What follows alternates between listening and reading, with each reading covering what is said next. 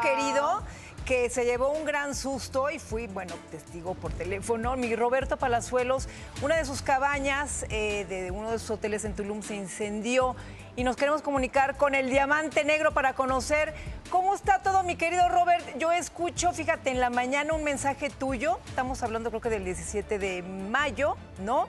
Y te escucho completamente devastado porque estuviste a punto de morir. Roberto, ¿cómo estás? ¿Qué onda, Moni? ¿Cómo están? Saludos a los tres por allá. Gracias, Pues gracias, bien. Robert. Fíjate qué ha pasado. Dale, dale, dale. He traído como muy buena suerte.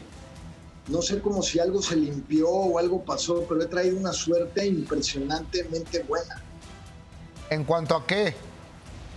En cuanto a todo, este, veo a mis enemigos caer, veo las cosas abrirse las puertas, veo que todo se me dé. De hecho, acabo de firmar un contrato muy importante, regreso a Televisa, empiezo a grabar el primero de julio. Voy a estar al lado del Burro Van Ranking en la quinta y sexta temporada de 40 y 20. Muy El bien. primo, el primo, ¿sí se acuerdan que el primo Beto lo llevó a visitar una vez? Porque Sí. lo corrió la esposa. No, ahí me acuerdo, pero qué bueno, que me da mucho gusto. O- o- oye, querido Roberto, a ver, dices, veo a mis enemigos caer. Yo la última cosa que vi, bronca tuya pública, es que estabas contra el director del parque de Tulum o algo así, ¿no? Eh, explícame eso. Sí, ahorita estamos contra él durísimo, no nada más yo y no es una cuestión personal, sino porque pues se pasa de vivo, ¿no? De hecho, vamos a sacar ya dos suspensiones de libre tránsito para unas personas porque puso ilegalmente una caseta sin contar con un plan de manejo, sin que el camino le pertenezca al parque y una serie de ilegalidades. ¿Sabes qué le dice el magistrado? Porque lo había negado el juez federal y el recurso de queja se otorga con el superior jerárquico, el magistrado le dijo, oye, pues tus horarios que pusiste de 7 a 11 ni siquiera tienen que ver con la pandemia. O sea, se pasa, pero bueno, ahí vamos poco a poquito, nada que no se pueda arreglar, hermano. Claro. Oye, Robert, una pregunta. ¿cu- ¿De cuánto fueron los daños eh, de, de tu hotel en Tulum? ¿Ya lograste eh, pues ¿Cuantificar? ahora sí que cuantificar exactamente y, y remodelar? Bueno, mira, estamos en el peritaje con el seguro para llegar a la cantidad, ¿no? Tenemos ya el determinado eléctrico porque ese fue muy, muy fácil de sacar, ¿no? De lo que se arruinó. Porque el rayo no nada más afectó las, las dos cabañas que se quemaron, sino como estaba prendido el hotel, entró una descarga muy fuerte y voló baterías, voló varias cosas. Le hizo mucho daño a muchos chicos eléctricamente. Fue un, fue un bombardeo de rayos, no nada más fue uno, ¿no? Entonces, bueno, eso ya lo determinamos, pero falta lo de la palapa, la construcción, todo eso. Pero bueno, gracias a Dios había un seguro, ¿no? Qué bueno. Y tú estás bien, es lo más importante. Sí, es lo más importante. Qué bueno, mi Robert. Palazuelo, Ah, perdón, me gustaría preguntar, ¿a cuánto asciende, eh, Roberto, te saludo con mucho gusto, sin ser indiscreto, cuánto asciende eh, los daños de estos, pues de este incendio? Ay, perdón, de- perdón. te- te iba a preguntar también, ¿cómo está la gente? La gente que trabaja ahí, la gente que labora contigo, ¿cómo se encuentra? ¿Está espantada? ¿Están yendo a trabajar? ¿Cómo está la gente que labora para ahí? Ellos son lo máximo. Si no hubiera sido por ellos, se prende el hotel, porque en el parque, el director del parque no nos dejó salir a pedir auxilio en la noche. Le tuvimos que arrebatar las llaves y, y salir para traer a los bomberos. ¿no? Ellos son, son unos campeones, son lo máximo. Mis empleados son lo máximo y disfruto mucho estar con ellos. Ya estamos este, remodelando y preparando todo para una próxima apertura de todos los hoteles.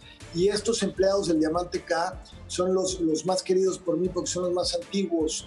Y una vez más, siempre conmigo. Y aquí les hago un, un reconocimiento público de que mis respetos. Palazuelos, dime una cosa.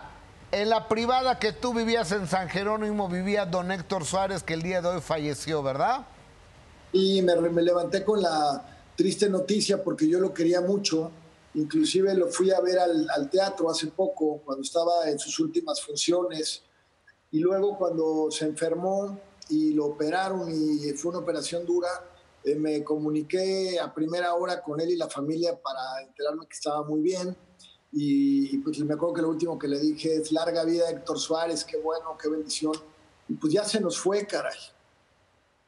Oye, él te enseñó a boxear. Efectivamente, no nada más a mí, a todos, a todos. Enfrente de su casa, la casa 11 abajo, él armaba un ring profesional y nos compró manoplas, nos, nos traía un maestro para ponernos en las manos las vendas, todo, y organizaba las peleas, inclusive cuando alguno se calentaba, se metía y decía, "Ven, tranquilos, tranquilos, no se me calienten, esto es un deporte.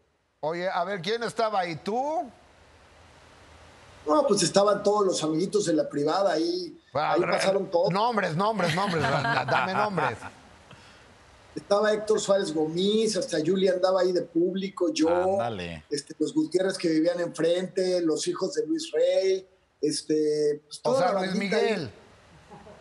Seguro, mira, yo no me acuerdo de Luis Miguel que se haya subido un ring, pues seguramente le tocó verlo y seguramente estuvo ahí, porque era una cosa muy popular ahí de, de nosotros el ring enfrente de la casa de Héctor Suárez, ¿no? Ajá. Y él pasaba Héctor Chico también.